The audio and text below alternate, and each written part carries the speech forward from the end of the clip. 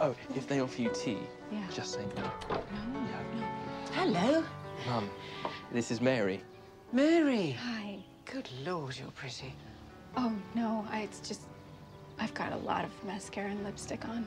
Let's have a look. Oh, yes. Good. It's very bad for a girl to be too pretty. Stops her developing a sense of humor. Or a personality. Tea? I'd love a cup of tea. Oh, Christ, that's the whole day gone. You get a saucy. Very special guest. Cup you. without that- Oh, skipping stones. They've been doing this since he was about this high. And what are your faults? I mean, little weaknesses. Oh, uh, uh, well, I'm very insecure. Sweet. Okay, I, um, I have a very bad temper sometimes. Crucial.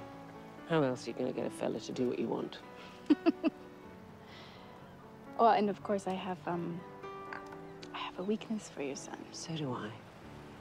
But best not to tell him. Don't want him getting cocky.